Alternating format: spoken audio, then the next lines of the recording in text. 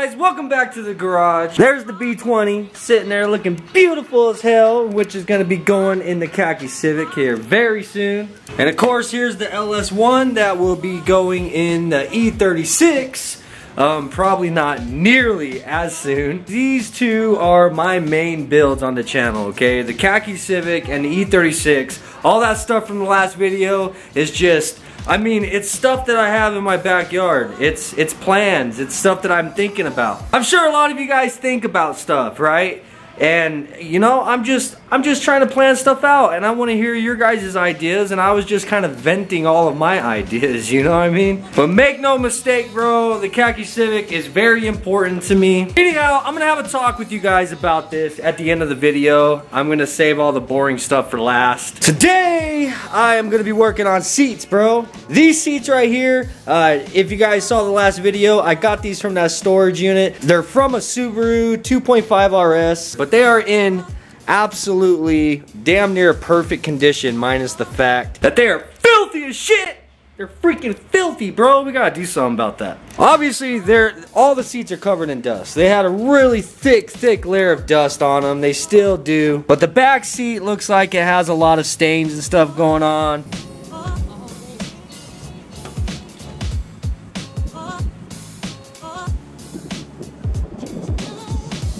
I know a lot of you guys probably are not gonna like the way that I'm about ready to clean these seats, bro. It's only three words. Click, click, vroom.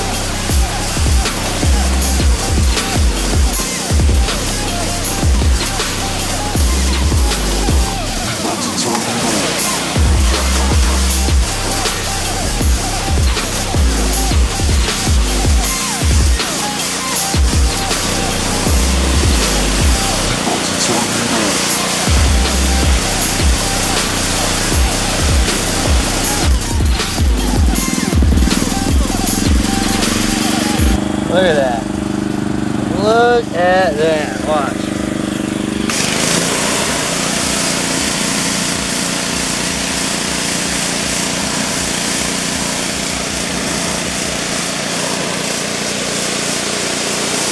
Oh my god, bro.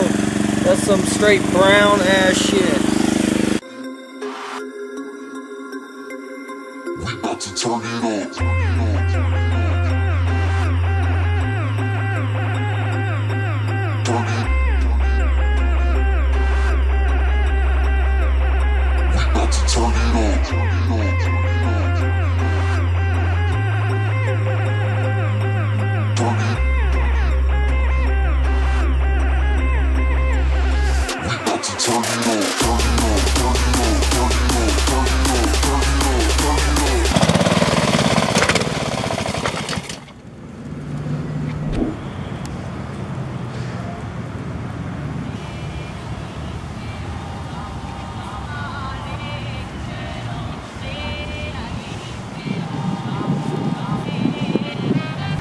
Alright, so I know a lot of you guys probably gonna think I just messed the seats up. Now, rightfully so, rightfully so. I get it, I understand. It's it's a weird freaking thing, right? But let me tell you for sure that I have most certainly done this before. I've done it to a few of my other vehicles I've owned in the past. Maybe it's because I live in Arizona, bro. I don't know, but you just gotta leave them out and let them dry really good. And there's no mold or mildew or whatever like a lot of you guys would probably think. I don't live in a moist state, bro. This is dry ass heat. Entire Arizona, bro, is like the inside of a dryer, I'm telling you right now. Now all we gotta do is just kind of let them dry. I'll show you guys that in a later video, dude, because they're most certainly ain't gonna dry today. Not to mention, that's not what today's video is about, guys. Today's video is about these Corbeau seats. I think I pronounced it correctly now. A lot of you guys gave me instruction on how to pronounce this. So it's Corbeau. Corbeau, right? Corbeau? Not Corbeau? Corbeau?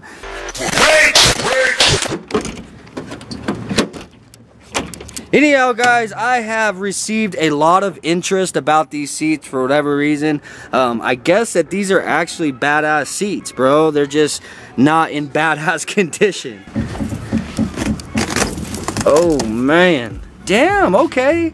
That was a pretty cool looking blue before they got faded to shit. What I am wanting to do is try to restore these seats, bro. I want to make them look halfway decent. So first thing we got to do, obviously, is get them out of the car. Get them all unbolted.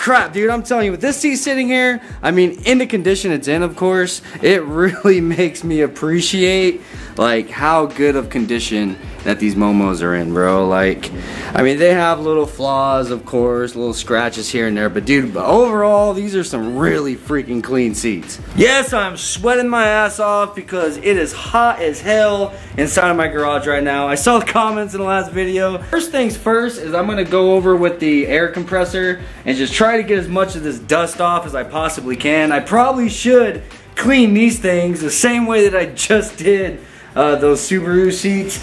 But if I did that, then I wouldn't be able to dye them today, bro. We'd have to wait for them to dry. Which would mean no video. But yeah, basically, I'm gonna try to get them as clean as I possibly can. I'll probably wipe this stuff down. Um, and I'm also going to mask these sections off so that we don't dye the caribou. Like, God, I should really, I really should pressure wash these. It would probably get this all white. Ugh. Damn it. Anyhow, I'm gonna try to get them clean and then I'm gonna mask this off. And what we're gonna be doing is using this RIT uh, fabric dye, bro. I'm sure a lot of you guys have seen this stuff. It's an all-purpose dye, bro. And uh, I bought two bottles hoping that this is gonna be enough. It should be enough. You know what I'm saying? I think a whole bottle per seat. And what I'm gonna be doing is basically spraying them, spraying the dye on there the same way that you would um, paint. You know what I mean? Be spraying it through my gun. Holy shit. Lovely. Just freaking lovely.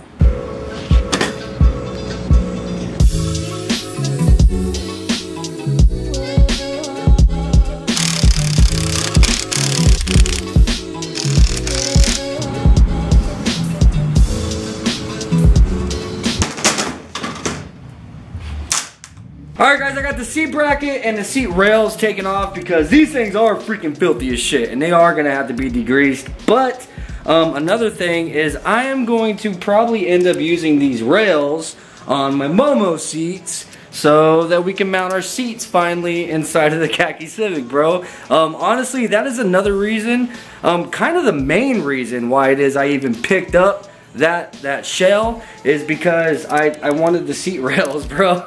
In other news, I wasn't recording, but fuckhead got home and he made sure to let the whole neighborhood know he's home like he always does. Got the seats as clean as I possibly can and I got them set up on buckets. Um, I am gonna have to kind of spray underneath because the fabric does wrap around the bottom of the seat. Um, I have my LED light set up here because of course, like I knew that we were going to, um, we lost sunlight. So I got my gun here. Uh, it's a little filthy right now, so don't judge me. I use these things every day at work, bro. This is a Graco. It's the Finex line. This is a 1.8 millimeter tip. Um, this is what I actually use for spraying primer. This stuff is kind of thick, bro. It's kind of thick. Um, I'm not gonna reduce it because honestly, I don't know what to reduce it with. And I'm just gonna, oh shit. I gotta at least shake it really good first. I'm just gonna pour this stuff straight in there. Oh, it's not as thick as I thought it was, man. That's that's actually pretty damn thin, bro. But I'm just gonna pour one in there for now to see how far that gets us. Um, this this cup system, this is a hard cup, and then it has a sleeve that slides inside of it. Uh, the sleeve is disposable, and then it has these little lids that pop on. You pop the lid on top, and then you got this piece right here that screws on, it holds it all together. And then this is like a quick release that uh, this attachment on my gun, it just pops on and you spin it and it locks on there. And then as you spray the paint, this little liner on the inside actually squishes shut so that you don't have to have a breather hole on this cup system. And you can actually spray the gun upside down, bro, and paint still comes out just fine. This is made by 3M. It is their PPS system. Um, I know a lot of you guys have asked me that in the past, and that's the reason why I'm mentioning it. If you guys notice, the lid actually has a built-in filter also, which is really nice. But then that lid screws on nice and tight. This thing just bow. You have to push it in, you push it on there, and then you just give it a turn and it's locked on. Ready to go.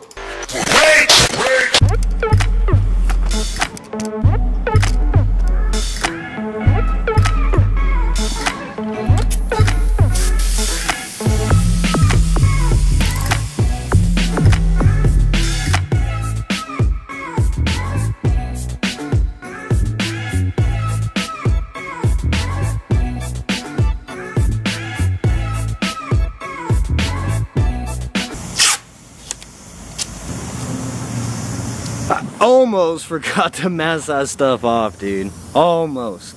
See if this one will work. Pretty close. Needs to be a little bigger.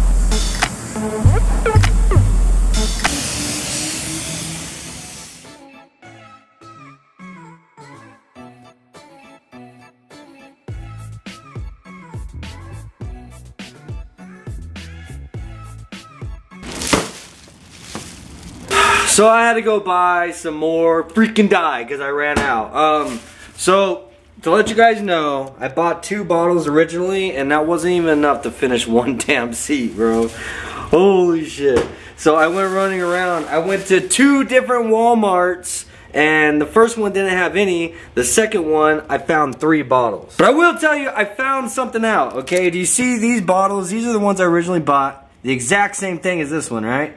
Okay. These bottles cost me five bucks each. These bottles cost me, it was like 270 each, so a little under $3 each. And you know the only difference? These bottles were in the arts and crafts section. These bottles were over next to all the laundry soap and everything and like the cleaning supplies. it's the exact same freaking product, exact same bottle, but if you get it from the cleaning supply area, they're three bucks each. You get it from arts and craft, five bucks each. Go figure.